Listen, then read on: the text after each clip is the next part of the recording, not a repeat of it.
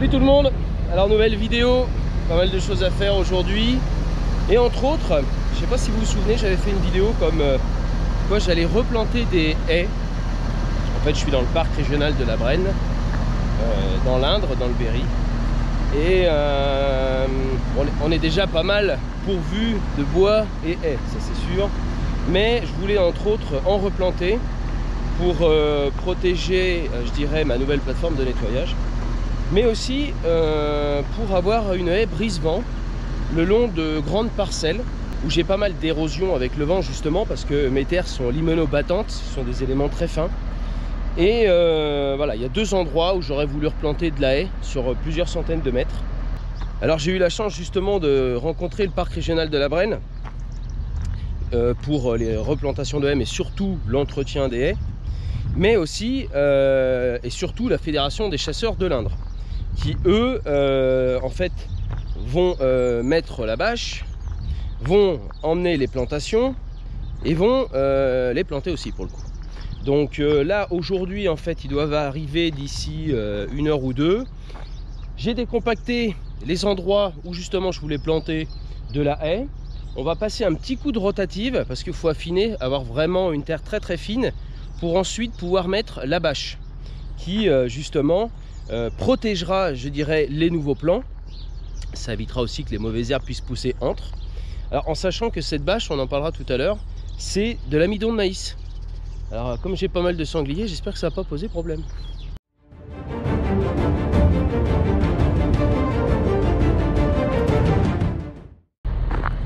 Alors évidemment aussi les haies, les bouchures comme on dit dans le Berry, bah, c'est bon pour la biodiversité. Bon évidemment ça va pas prendre toute la journée et là on est en plein dans les semis d'orge, orge d'hiver. Donc en règle générale pour l'orge d'hiver, avec Sébastien on laboure. On laboure parce que euh, le racinaire de l'orge a besoin d'avoir euh, une terre avec beaucoup de porosité. Voilà, c'est une racine qui est quand même assez compliquée, à la différence du blé. Et puis en plus c'est bien pour le désherbage, parce qu'on fait quand même très peu de désherbage de labour. Et le désherbage est compliqué sur l'orge. Alors ce qu'on fait depuis 3-4 ans déjà, on, prend tout simplement de l'orge de l'année d'avant, c'est de la maltesse. Et puis euh, on la sème telle quelle, on la traite même pas. Après on n'en fait pas beaucoup beaucoup. Donc le semoir est prêt, la fusée est bonne. Allez on va regarder ça. Regarde ça. Et l'axial a tri pas mal hein Il n'y a pas de triage là. On la prend directement cellule. Ça c'est bien réglé. Impeccable. Bon. On va passer un petit coup de herse rotative justement pour affiner. Évidemment, on va pas semer. Euh, on va tout simplement euh, lever la roue de distribution du semoir qui elle fait couler le grain. Euh, ça serait con de mettre de et de bâcher derrière. Donc en fait, on va reprendre le petit bout de haie qui est là au coin. Et tout le long là, on va en remettre. Et on va se laisser à peu près 20 mètres d'entrée. Comme ça, ça me permettra d'avoir un couloir en fait euh, de passage pour les tracteurs parce que maintenant on évite de passer dans la cour avec tout ce qu'on a fait là. Et puis euh, ça protégera aussi, euh, je dirais, du vent, des intempéries. La petite cabane où il y a le nettoyeur haute pression, je pense surtout au froid. Et puis, et puis aussi la cuve à eau. Voilà, tout simplement.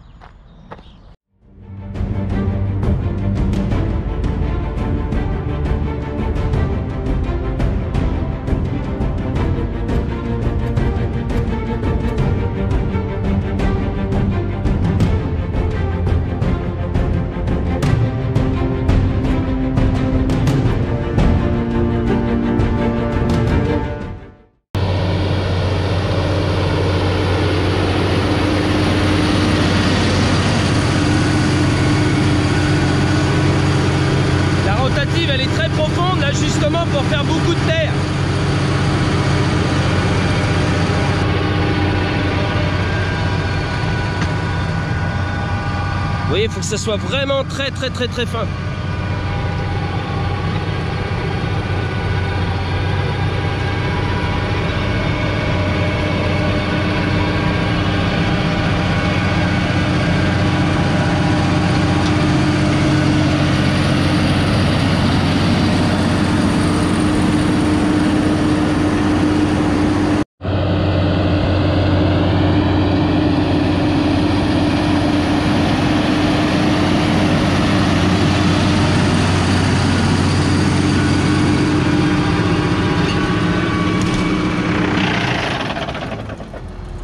Impeccable Seb, ça nous laisse 20 euh, mètres.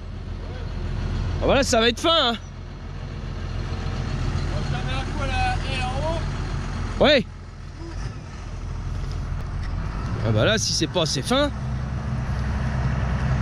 Vous voyez Terre, limono sableuse, des éléments très très très fins, avec des éléments un peu plus grossiers, à type sable. On a tout là-dedans. pH acide, peu de matière organique, mauvais CEC, euh, drainer. vous êtes obligé de drainer, sinon ça fait des étangs. Séchant, humide quand ça flotte. Voilà, il faut savoir les prendre au bon moment. Mais c'est ça qui est intéressant justement ici. Et moi j'aime beaucoup.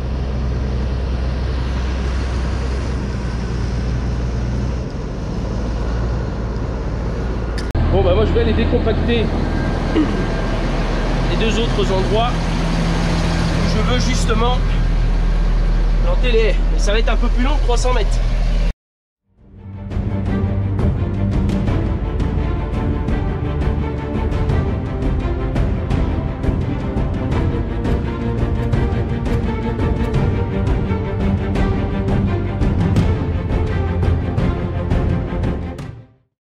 en fait là je me sers du décompacteur pour, euh,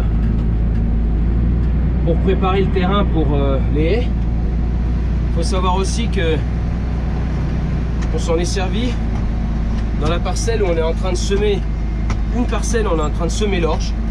Pourtant c'était un précédent colza avec un racinaire qui est plutôt bien descendu. Mais le problème c'est qu'il est tellement sec que la petite charrue, eh ben, n'y rentre pas. Donc euh, il y a deux parcelles, il y a 6 hectares d'un côté 5 hectares de l'autre. Et on a été obligé de décompacter celle de 5 hectares. Sinon la charrue, ben, elle rentrait pas. La petite, elle était trop, euh, juste. Et puis ça m'ennuyait de sortir la grosse pour 5 hectares. En plus, elle a, c'est une petite, euh, elle est triangulaire. Enfin bon, c'est un peu le bordel. Tout le fait d'avoir, d'avoir juste pris la petite 5 quoi.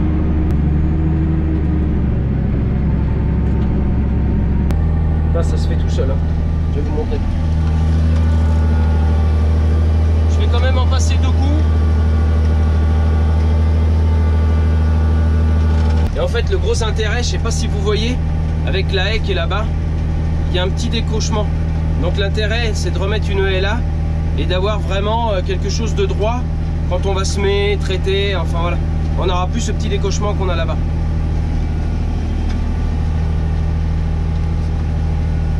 comme je vous expliquais, regardez, on est en pleine totale de ce côté-là. Une haie ici, ça devrait être pas mal. Sachant que je vais faire une haie d'environ 4 euh, mètres de haut. Et je mettrai du OG. C'est-à-dire, euh, je pense que je vais mettre euh, par-ci par-là des chaînes un peu plus gros, du frêne, enfin quelque chose d'assez haut qui puisse embellir un petit peu cette haie.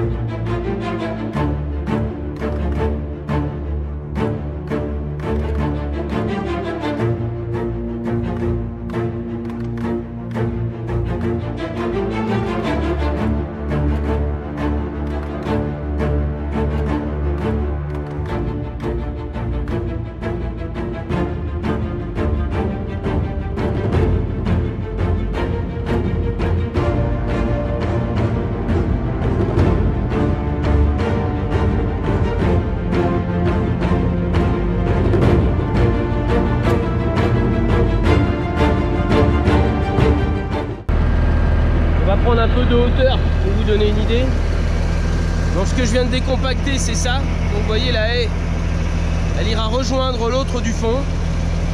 Et là je suis en train de faire tout le long d'un chemin.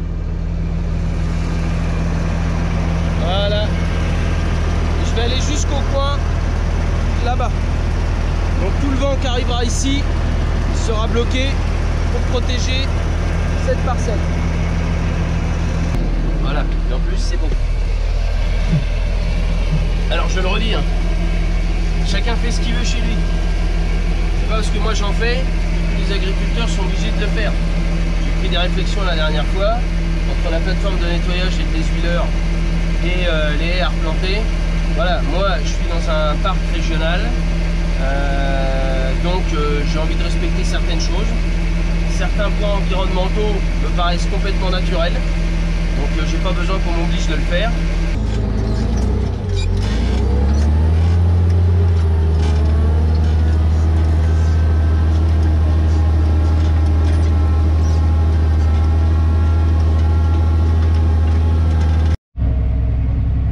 Vous allez voir un petit nouveau dans les vidéos.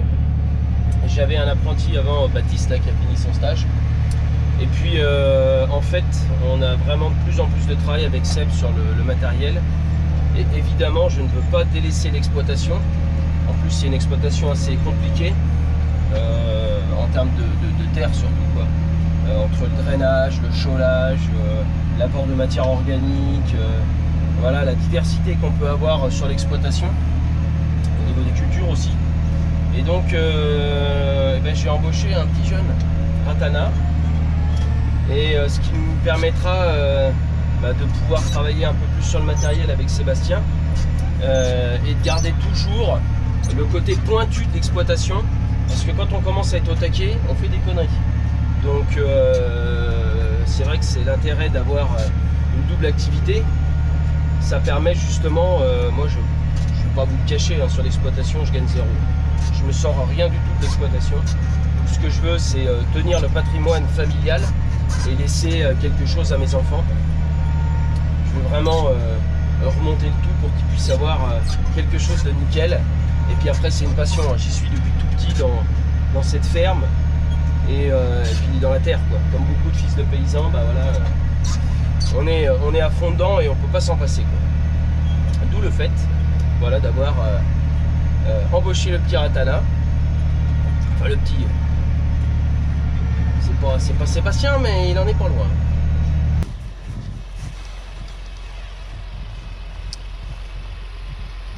Bon, va falloir entretenir ça, passer un coup de broyeur. Vous voyez, quand je vous disais qu'il nous manquait, il nous manquait du temps. C'est important aussi de d'entretenir euh, les fossés. Donc là, elle est en train de labourer juste cette petite parcelle-là qu'on a décompactée. Regardez un peu. Comment c'est sec Bon après il y a de la porosité, hein. c'était un, précédent colza. Puis la, vie biologique marche plutôt pas mal. Vous voyez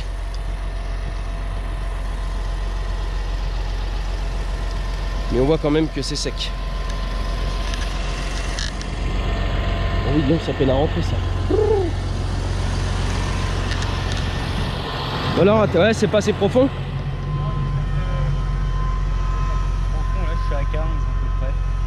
Ouais, après, euh, ça a été décompacté, tu sais, si tu laboures peu profond. Ouais. T'as quoi T'as baissé d'un cran là? Ouais, j'ai baissé d'un cran. Allez, on va voir ce que ça donne. Après, tu sais, tout est bien recouvert. Hein? Franchement, ça me choque pas, hein, ça a été décompacté là. Alors, faut savoir que cette charrue, mon père l'avait achetée en 85. Alors, je l'ai gardée. Parce que j'allais la revendre pas cher.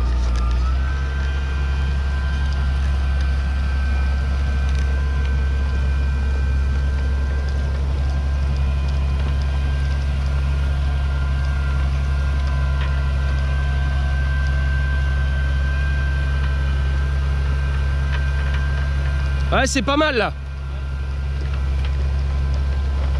Hum, ça sent bon la terre.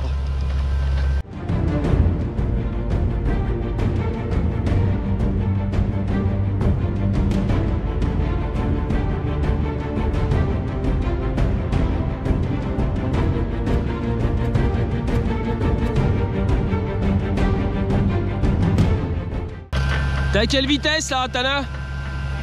5,5 Ouais, c'est bien. Les socs, ils ont été changés il y a peu de temps. Regardez l'usure déjà. Vous comprenez pourquoi je laboure quasi pas? On le voit bien. Ça fait une dizaine d'hectares.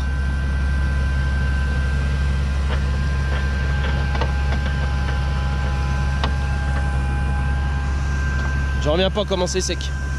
Alors après, il y a des années de, de non-labour. Alors les puristes vont dire oh là là c'est catastrophique. Tu laboures ce que t'as pas labouré pendant des années. Après, c'est pas grave si on est dans des bonnes conditions. De temps en temps, ça fait pas de mal. Ça déstructure un peu plus parce qu'on fait du volume de terre, on fait plus de porosité évidemment. Mais comme je vous l'ai expliqué, pour moi, c'est important pour de l'orge. Euh, et puis surtout, euh, on a de plus en plus de problèmes de désherbage. Donc euh, voilà, je le fais de temps en temps. Il m'arrive de faire de l'orge sans labourer. Et j'ai vu quand même une réelle différence. Donc voilà, on garde juste la charrue pour faire quelques hectares par an. Et, voilà, là ça se laboure dans des bonnes conditions, c'est un peu sec. Bon, quoi qu'il en soit, on a décompacté. On est obligé de décompacter dans ces sols-là. Sinon l'eau, elle descend pas au drain, ça se compacte vite. Il y a très peu d'argile. Et euh, obligatoirement, bah, il faut l'aider.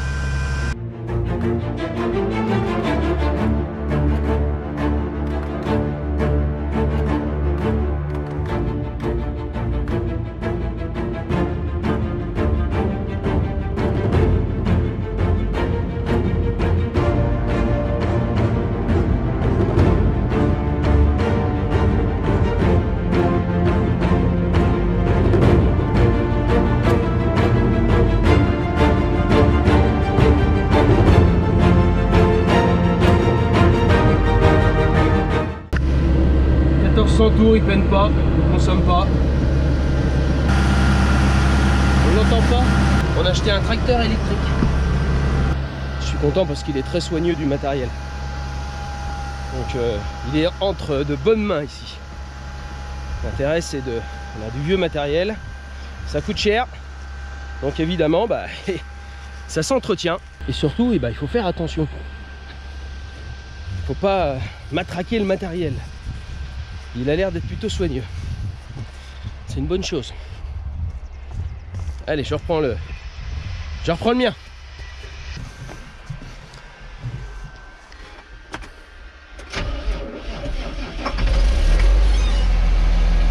Toujours des petits problèmes de démarrage. Je vais changer le démarreur. Ah, j'adore ça là. Quand ça bouge dans la ferme, tous les tracteurs tournent, tout le monde au boulot, ambiance. c'est une chance d'avoir euh, des salariés, en plus sympa. Alors moi, au lieu de mettre l'argent dans le, dans le matériel, je le mets soit dans la terre, après je dis dans la terre, pour acheter des terres, mais pour euh, l'améliorer. Et puis euh, dans les salariés, qui sont d'ailleurs des amis, vous vous rendez bien compte avec Sébastien. On a une vraie entente fraternelle. Et on vit les choses ensemble, le mal comme le bien. Mais bon voilà, bon, chez Prodil c'est pareil, hein, on s'entend tous bien. Euh, il y a une petite vingtaine de salariés. Et euh, chacun a son poste, chacun est important. Il faut valoriser les personnes qui travaillent, euh, qui travaillent chez vous. Il faut qu'ils se sentent comme chez eux. Comme ça, ils travaillent comme chez eux. Et d'ailleurs, Sébastien, il est comme chez lui parce que ici, il est chez lui.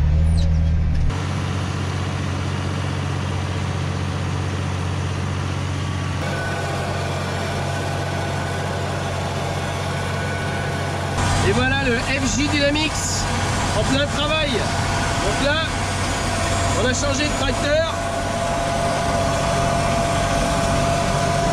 Voilà, on est en train de semer après le labour.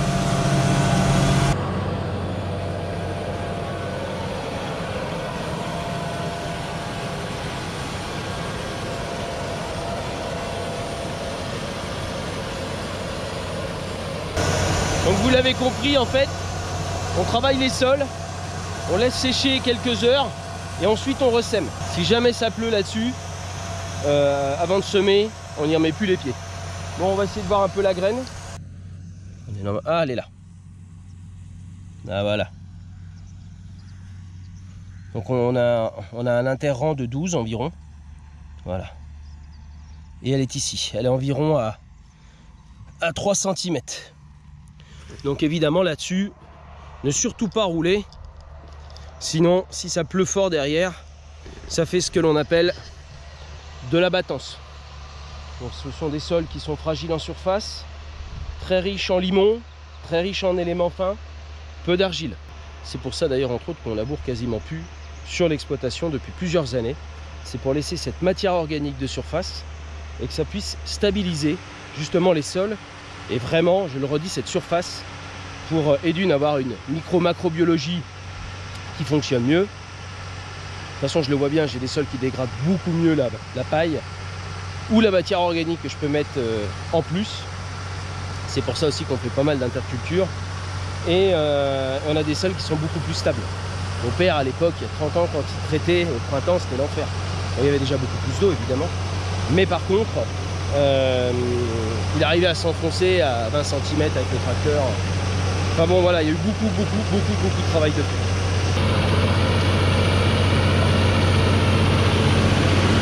Et alors le franquet, c'est du bonheur. On n'a pas eu le temps de le faire.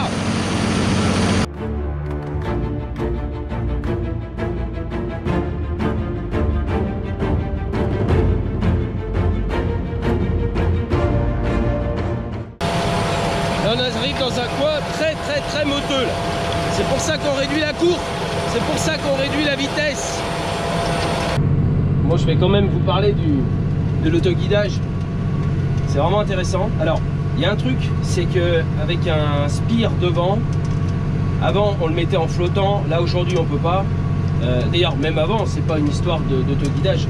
C'est qu'une fois qu'il est planté, il est planté. Donc ce qu'on fait, on le baisse un peu et ensuite on le relève, puis qu'il puisse quand même écraser les modes et faire son travail. Mais je peux pas le laisser en flottant. Bon, à côté de ça, on a fait notre tour de champ. Euh, on a fait le tour de champ simplement pour savoir exactement ce qu'on a en surface. Ensuite, euh, on a fait notre passage du point A au point B.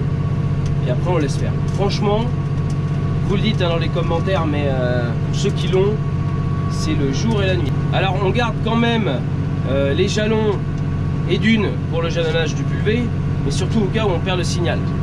Je pense que voilà, si on passe le long d'une haie, ou c'est pas spécifique à la marque, hein. Mais bon voilà, on préfère être prudent. Et puis il faut qu'on prenne l'habitude un petit peu de tout ça. Mais c'est vraiment très simple. D'ailleurs, j'attends le nouveau volant et le bouton pause, parce que je peux vous dire que Julien disait qu'il fallait juste mettre un petit coup de volant, ça allait. Euh, entre nous, euh, il faut avoir les deux mains pour pouvoir le déconnecter. Donc ce bouton qui est sur l'écran va être bientôt mis sur la, la console. Ça c'est bien. Après, bah voilà, hein, un autoguidage habituel et le plaisir qu'on peut en avoir. Moi je me souviens de Sébastien qui gueulait parce que le volant était maintenant trop haut et il avait 5 cm de plus pour toucher l'inverseur. Ben, il en est très content aujourd'hui. Hein, Ça change pas content. le problème qu'il faudra faire une rallonge d'inverseur. Allez, on arrive au bout. Tac. On lève. On met en pause l'autoguidage. C'est parfait. Donc j'ai vu qu'Alex de la Vienne avait fait une vidéo sur le tour de bout de champ. Euh, c'est une option. Je vais déjà, enfin, Seb et moi, on va déjà essayer de se familiariser bien à l'outil, même s'il n'est pas compliqué en soi. Et au fur et à mesure, eh ben, on évoluera avec eux. Euh, D'ailleurs, j'ai hâte de recevoir, comme je vous ai dit, le nouveau volant. Et puis ce petit bouton, je sais pas où est-ce qu'on va le mettre, mais on va trouver une solution. Après, c'est pas gênant non plus. Hein. on a 20, 10 cm à faire. Mais c'est vrai qu'avec le bouton, bon, euh, c'est pas comme si c'était digital.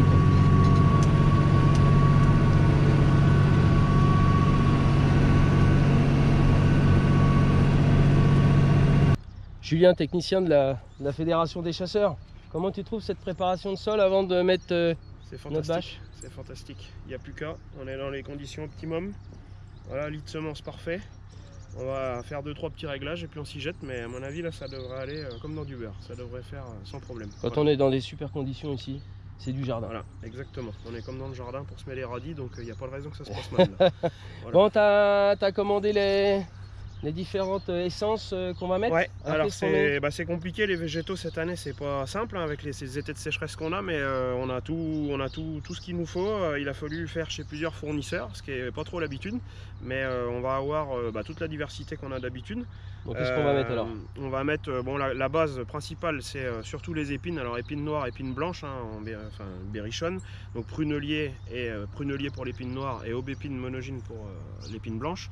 On va mettre euh, un petit peu de cornuet sanguin, on va mettre du troène, on va mettre euh, du charme, on va mettre euh, un petit peu d'espèces. En fait, c'est beaucoup d'espèces très buissonnantes. L'idée, c'est que ça fasse, c'est que ça fasse surtout du buisson, que ça produise des baies et que ça soit très très buissonnant. L'idée, c'est que ça fasse un peu effet coupe-vent, etc. Et que ça produise des fruits pour les oiseaux, entre autres. Alors, entre autres, tu vois, il me faudrait voilà, quelque chose un peu comme ça. Tu vois, on est sur des hauteurs de 4-5 mètres là, ce qui permet de passer avec, avec le broyeur, tu vois.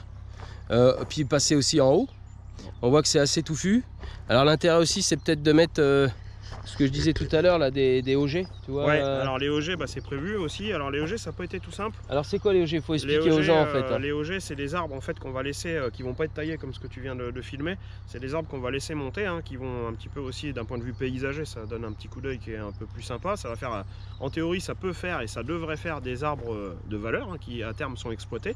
Les haies, dans le temps, elles- étaient, elles étaient coupées pour le bois de chauffage, hein, tout simplement. Là, les, les OG, c'est du bois d'œuvre. Alors, on s'est inspiré bah, de ce qu'on trouve autour. Ici, on va mettre euh, du frêne, parce que c'est une espèce qu'on retrouve quand même ici. Alors, le frêne, c'est compliqué. Il y a un champignon qui s'appelle la calarose. Euh, euh, bon, moi j'en mets quand même parce que je pense qu'il faut essayer. Et, et puis euh, voilà, donc on va, en fait, on teste beaucoup de choses. On va mettre un petit peu de cormier, un petit peu de chêne. Enfin voilà, Ouais, des choses, chêne, des chênes bah, pédonculées, c'est des tout choses qu'on trouve facilement ici, ici. ouais, voilà. En fait, faut pas dénaturer, tu Exactement. vois, euh, Bah, tout dans ce la, qu'on a dans autour, la liste quoi. que je vous ai donnée, c'est ni plus ni moins des espèces qu'on trouve naturellement ici.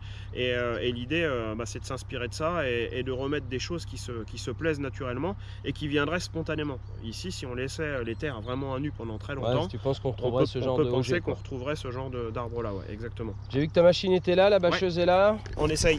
On va faire le tour. Alors faut savoir que là, en fait, euh, on est euh, début octobre et on pose euh, la bâche. Euh, ensuite, on aura le lycée agricole, je crois, c'est ça de Châteauroux C'est agricole de Châteauroux. Alors le scoop, tu t'es encore pas au courant, mais je te le dis. A priori, ça devrait être le lundi 12 décembre. Ah, Euh, c'est donc, super euh, on espère que tout le monde sera là. Mais euh, voilà, c'est en train d'être calé. Donc ça, ça fait aussi partie du chantier. C'est une grosse partie de préparation. Parce que euh, on, on devrait être euh, une 30, 40, 50 personnes sur le chantier. Le, Putain, le je vais avoir, chantier. eh, je vais avoir du Voilà. croissant à donner. Hein. Et, euh, et Croissant pas au chocolat. Hein. Et l'idée, bah, c'est de, de caler tout ça. Il faut aussi que, les, bah, que les, les scolaires soient disponibles, que les profs soient disponibles. Ah, faut Et les puis, faire bosser, euh, les profs. Il y a un contenu, Ils vont, ils vont euh, planter, les profs. un contenu pédagogique derrière. Donc l'idée c'est pas juste de les faire travailler, c'est qu'ils repartent, notamment en sachant reconnaître une bonne partie des essences qu'on a expliqué tout à l'heure. Et puis le principe euh, un puis peu la plus valeur. écologique, Et puis la valeur euh, écologique euh, simplement. d'une haie. Euh, Alors moi c'est ce que j'expliquais, tu vois, tout à l'heure quand j'étais en train de décompacter. Chacun fait ce qu'il veut dans son exploitation. Nous ici on est dans le parc de la Brenne. Euh, J'ai besoin de... bon, il y a l'histoire de biodiversité qui est importante. Mais aussi, euh, moi, euh, haie brise-vent, quand en plein milieu d'une parcelle, Ouais, en limon sableux, avec des éléments très fins, on a des systèmes d'érosion. Bon bah voilà. Euh, Et en bordure de chemins communaux, ça c'est des choses aujourd'hui qu'on fait beaucoup. Il y a aussi une notion bah, du partage et tout. C'est aussi d'un point de vue paysager et d'un point de vue biodiversité. Euh, on est sur des endroits qui sont passants, potentiellement où les promeneurs ou voilà, tout un tas d'utilisateurs de la nature peuvent passer. Et, euh, et c'est important pour nous de, bah, de montrer qu'on fait des choses. Et c'est le cas. Enfin, de toute façon, voilà, c'est plusieurs kilomètres, plusieurs dizaines de kilomètres tous les ans. hein. Donc euh, Là, on, on a quelques centaines de mètres à mettre en place. Allez, la machine. Et là, on va l'atteler euh, au IH qui est en train de chauffer. Tu vois que tu reviens aux valeurs, Sébastien? Vous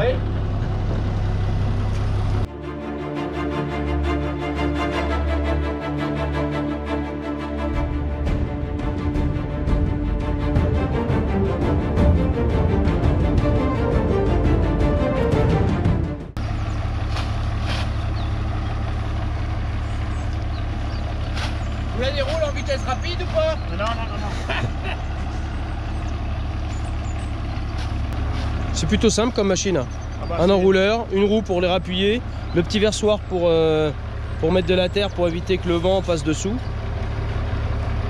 C'est ça Ça. Alors, qu'est-ce que ça donne Euh, ça va pas être le câble parce que t'as les résidus de. Ah, c'est les résidus qui vont. Ah, il y a même les pré-trous, dis donc.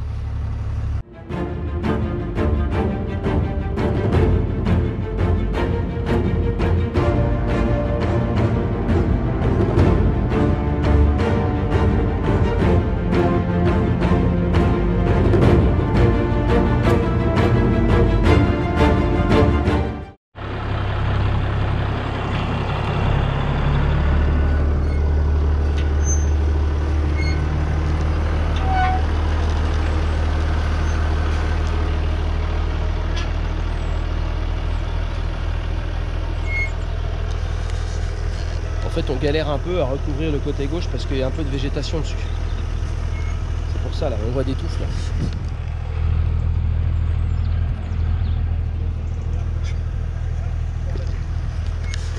Et donc l'intérêt, on va pouvoir planter trois rangées de trois rangées en quinconce de différentes essences et ça fera quelque chose de touffu. Alors on est à 50 cm du bord parce que quoi qu'il en soit, cette haie avec le temps, elle va prendre en largeur c'est l'intérêt.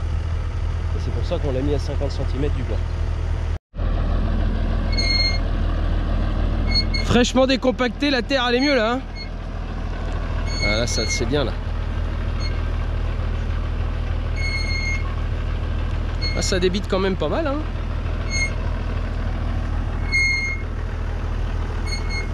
Là en fait on est en train de poser la bâche.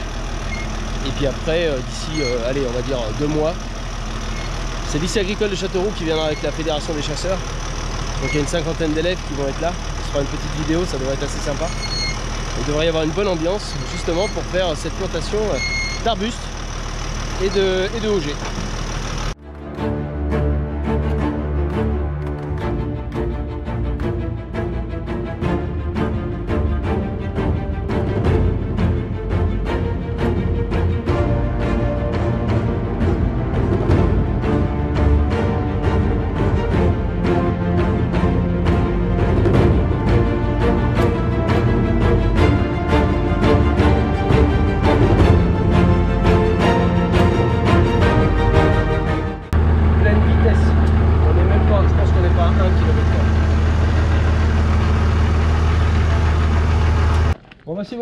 machine euh, est dans la remorque. C'est reparti on a fait un autre chantier, voilà. On a fait tout notre, euh, on a mis toutes nos bâches. Ouais. Donc là, d'ici un mois, un mois et demi, euh, on fera appel au lycée agricole. Plantation. Plantation. Mi, début décembre, mi-décembre. Et voilà, bah après on va planter donc sur trois rangées avec un arbre tous les 1m50 ou un arbuste tous les 1m50. Ouais. Et puis après, bah voilà, comme, quelques OG euh, pour, euh, pour pas dénaturer un peu. Euh, Il va y avoir la réception des plants entre temps. Donc si ça se fait dans la semaine avant, on laisse en sac. Si ça, si ça doit tenir un peu plus, on, mettra en jauge, mais c'est pas grand chose. Voilà. Donc on remet les racines, puisque c'est des racines nues, on les remet en terre, tout simplement. Et puis après, le jour de la plantation, bah, on taille un petit peu le chevelu et on plante directement en terre, voilà, en plein hiver. De toute façon, on se refera une vidéo plantation, Exactement, ensemble. Voilà. Bon, bah, nous, on va retourner au SMI. Julien, merci à toi et la Fédération des chasseurs. Merci à vous de votre accueil et puis à bientôt pour Comme quoi, et, euh, comme quoi chez Agriculture, euh, ça, peut, marcher. Exactement. Bon, dans ce métier-là, il suffit pas que de prendre euh, le tracteur et le volant. Il faut aussi régulièrement faire un tour de champ. Donc là, on est dans un champ de colza. Alors cette parcelle-là, qui est un précédent blé, avait eu du miat. Comme vous le savez, j'ai fait différents tests avec, euh, entre autres, du minifère de la société Plantin, cet engrais localisé. Cette parcelle-là, euh, cette parcelle-là, il y avait juste eu du miat. C'est haut. C'est. Ça fait. Bon, qu'est-ce que t'en penses, mon petit Paul? Eh ben, écoute, Alexandre, un beau champ de choux pour l'hiver. Ah la vache Non, presque euh, trop développé. Donc, j'étais en train de regarder, tu as la parcelle qui est quand même assez hétérogène en termes de levée. On retrouve bien tes phénomènes euh, De cul de batteuse. Hein. Ouais, ouais, ouais, avec euh, sûrement pas mal de concurrence euh, en termes d'azote notamment. Alors, c'est ça qu'il faut expliquer en fait. Lorsqu'on fait du colza, en règle générale, on exporte la paille. D'où le fait aussi ensuite dépendre du, du miat. Donc en fait, pourquoi on vous parle entre autres d'azote ou d'exportation, c'est que derrière cette machine, quand on fait des andins, donc euh, des andins de paille pour euh, ensuite euh, récupérer la paille, et eh bien évidemment, il y a toutes les petites particules. Toutes les menus pailles. Toutes les menus pailles, les balles, enfin tout ce qui est autour du grain, qui elle n'est pas ramassée par la presse et donc reste au sol. Et évidemment, qui dit dégradation de matière organique dit consommation, d'azote. Exactement. Voilà, d'où le fait d'avoir, eh ben, regardez, on voit bien hein, tous les culs de batteuse. Hein. ça, fait, euh, ça fait des, des petits, euh, ça fait des lignes jaunes avec un peu moins de développement. Bah, logique, compétition. Et puis un petit peu moins de nombre de pieds. Tu le retrouves aussi en densité de peuplement, sûrement un petit peu, enfin un contact à graines, euh, souvent un petit peu moins bon dans les zones où il y a un petit peu plus de paille. puis un peu plus soufflé quoi. Souvent un peu plus soufflé, des moins bons contacts à graines, donc un nombre de pieds un peu plus réduit. Puis tu le retrouves aujourd'hui sur ton élongation. Donc là, tu as un pied qu'on peut voir euh, entre les zones d'andin donc euh, où tu as un nombre de pieds un peu plus important, des fournitures alimentaires un peu plus conséquentes aussi, tu as une élongation qui est beaucoup plus marquée. Et ça, c'est un pied que je me suis amusé à prendre sur des zones d'andin où déjà tu as une densité qui est beaucoup plus faible et tu vois que ton élongation est beaucoup moins marquée sur les endroits là. Mm. Par Donc contre, ça, euh, c'est lié à deux choses. Ouais, par contre, vois, effectivement, y a- tu as un diamètre collé. t'as un qui est diamètre de collet qui est plus épais. hein. Donc c'est toutes les difficultés des comment des raisonnements de densité de semis en colza, c'est que cette année on a eu très peu de pertes à la levée, des fois des nombres de des nombres de pieds levés un peu trop importants au final. Donc on se retrouve avec euh, bah, des diamètres collés un petit peu plus réduits. Bon là c'est encore loin d'être catastrophique vu les dates, mais c'est sûr qu'à choisir mieux vaut avoir euh, quasiment des populations comme on pourra avoir là, des nombres de pieds plus limités mais des diamètres collés beaucoup plus gros et une élongation qui est beaucoup moins marquée. Bon, enfin, quoi qu'il en soit, euh, il faut que le colza soit quand même développé pour passer l'hiver. Bien sûr. Là, on est un poil développé sur cette parcelle-là. Presque un peu trop et la difficulté dans les champs comme ça c'est que tu as comment dire t'as un développement qui est hétérogène avec tes zones quoi. Bah voilà, mais bon, je pense que. euh, en plus, ils annoncent euh, pas de température trop fraîche la semaine prochaine. Donc, encore un peu de poussée avec un Là, peu oui, d'eau. des- on a des conditions de pousse encore Ouais. assez actives des colzas à l'époque. Là. Alors, euh, après, il faut, pourquoi il ne faut pas non plus que ça soit trop euh, développé? Pourquoi il ne faut pas que ça soit trop développé l'hiver? Bah, Tout simplement, c'est qu'il y a le gel qui est là. Là, c'est par rapport effectivement à la sensibilité au froid. Là, Exactement. ton bourgeon terminal en fait qui se trouve plutôt au cœur des plantes. Donc tu vois sur des plantes qui sont, bon là tu as un léger début d'élongation, mais sur des plantes qui sont beaucoup moins élongées, ton bourgeon terminal se retrouve par le fait isolé par les feuilles qui sont autour de lui. Sur un colza dont l'élongation a déjà débuté, Eh ton ben, bourgeon terminal tout. hein. Exactement, il se retrouve beaucoup plus euh, entre guillemets à l'air libre et plus sujet à des températures, euh, des températures basses. Alors après, on a quand même une population importante, mais cette parcelle-là, on va essayer justement de, de diminuer sa, sa croissance par euh, ce qu'on appelle un, Un régulateur. un régulateur, tout simplement. Donc Et, oui, quand on euh, dit diminuer la croissance, euh, j'ai horreur du terme raccourcisseur, on raccourcit pas une plante qui est déjà On est d'accord. donc, des donc j'avais le mot, c'est ce que tu allais dire. Exactement, c'est ça. Putain, je pourrais, bientôt pouvoir me remplacer. euh, pour être technicien. euh, Ah ouais, non, ouais. je suis trop vieux pour toi, mon vieux. bon, on va faire un petit tour dans, dans l'autre champ par la suite. Bon, maintenant, on va passer sur une parcelle qui a été semée en dernier. Et qui a pris, alors a été semée un petit poil profond parce qu'on voulait le garder dans l'humidité. Et surtout qui a pris l'eau. Sachant qu'ici, on est dans les terres battantes. On se fera un petit prélèvement de sol tout à l'heure, vous verrez. Eh bien, euh, ça n'a pas aimé. Pourtant, on a laissé la matière organique en surface. Et euh, on a eu cette espèce de croûte de battance. Et au début, j'ai eu assez peur parce que je me suis dit, le germe ne va jamais casser cette croûte qui va lui permettre d'aller à l'air libre, tout simplement. Et il se débrouille plutôt pas mal. D'ailleurs, j'en avais mis une photo euh, sur Facebook. Et euh, ben, il se débrouille plutôt pas mal. Et ça, je pense entre autres que l'eau qui a été derrière justement pour casser cette croûte nous a beaucoup aidé. Et puis justement le mini-fer, cette petite azote qui était au pied de la graine et qui lui a donné un peu d'énergie pour essayer de casser cette croûte. Alors, il manque quelques pieds hein, quand même, Paul. hein. Il y a bah, des endroits où il manque des hein. Plutôt bien refait par rapport à ce qu'on avait pu voir il y a peut-être trois semaines maintenant. Donc ouais, on a eu de la chance de prendre un petit peu d'eau, ça t'a permis de d'étrendre un petit peu la, la croûte. Euh, on retrouvera les photos après la voiture tout à l'heure si tu veux, pour voir un peu comment c'était et comment c'est redevenu aujourd'hui. Donc euh, des peuplements assez hétérogènes selon les zones de sol et c'est vrai que t'as- on retrouve au final toute ta zone où tu avais passé les rouleaux pour essayer de casser un peu les mottes, où au final ça a été hyper impactant vis-à-vis de la pluie et tu as eu un gros phénomène de battance sur la zone là. entre autres sur ce colza là, c'est sûr que voilà, on sera un potentiel plus peut-être sur du allez, 25-30 euh, et encore 30 je trouve.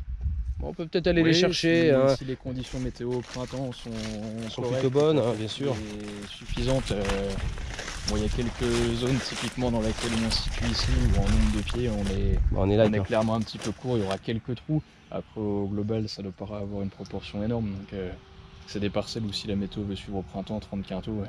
Ouais. Quand on voit les rendements qu'on fait depuis deux ans, Ça a quand même donné un petit coup de boost. Bah, puis t'as les aspects effectivement de phosphore en localisé au SMIC qui ont un vrai, euh, un vrai impact sur les dynamiques, au moins sur le, le début de cycle. Sur la partie développement racinaire qui du coup ensuite va t'inclure une, euh, une plus grande faculté à aller consommer des éléments qui sont restants dans le sol encore à l'automne. C'est que le colza a des, des grosses capacités d'absorption automnale. Et tout à l'heure tu parlais des autres effectivement au printemps. Euh, à, à objectif de rendement identique, une parcelle comme tu as là-bas où tu as gros de biomasse à l'automne, te demanderait moins d'azote minéral au printemps qu'une parcelle où tu Évidemment. moins de biomasse du fait qu'un champ comme ça aura consommé moins d'azote à l'automne. Donc il faudra compenser plus au printemps en minéral. Bon bah là on est sur la parcelle de tournesol que j'avais fauché déjà il y a quelques temps. Euh, d'ailleurs j'en profiterai pour vous mettre la vidéo en haut, euh, en haut à droite. En haut à droite, ouais c'est ça. Donc suite euh, à la fauche des tournesols, on a laissé sécher un petit peu et on a passé le rouleau faca devant le tracteur avec le déchômeur à disque. Donc voilà ce que ça donne. Ça c'est une parcelle qui va finir en blé. Donc je pense qu'on lui mettra un coup de décompacteur parce qu'il y a eu pas mal de reprises en masse. Ce qui est important dans chaque exploitation, c'est de regarder un petit peu comment vit le sol, comment se comporte le sol, qu'est-ce qu'il y a en réserve. Et euh, je dirais que tous les 5-6 ans, c'est quand même pas mal de faire une analyse de sol. Donc pour ça, on prend ce qu'on appelle une tarière. Et ensuite, on appuie un peu, on tourne, on va chercher tout ça. Alors là, on sent bien le passage du déchômeur. Ouais, il besoin de décompactage là-dedans. Alors, on peut voir, je vous parle de limon battant sableux, eh bien là on le voit là. Il n'y a pas de tenue. Alors c'est un peu comme du velours, vous voyez. Si c'était très argileux, et eh bien si je faisais ça avec mon doigt, j'aurais une espèce de, de calotte qui tiendrait. Et là, il n'y a rien qui se tient. Il n'y a pas de cohésion. On est vraiment dans du limon battant sableux. Donc vous voyez, c'est ce que je vous explique à chaque fois. C'est beau quand ça se travaille dans les bonnes conditions. Par contre, Dès que les conditions climatiques sont plus difficiles et plus compliquées, c'est pas la même limonade. Dis-moi Paul, quelle profondeur de sol intéressant à voir. Alors on va essayer d'aller chercher sur une trentaine de centimètres. je vais toucher le drainage. Bon, on a une couleur assez, assez brune. Hein. Mais bon voilà, hein, on est vraiment bah voilà. Voilà les sols de Brenne. On n'a pas d'oxyde ferrique. Si on avait de l'oxyde ferrique dans les sols hydromorphes comme ça, tu dirais que c'est quoi? Euh, Ça peut être lié euh, et à de l'hydromorphie, éventuellement à, des, à une nature de sol à, tendance plutôt acide. On a des espèces effectivement de les oxydes ferriques comme tu les appelles et comme on les appelle qui peut-être en voir un petit peu qui ressemblent à des traces de chercher un justement. Ah.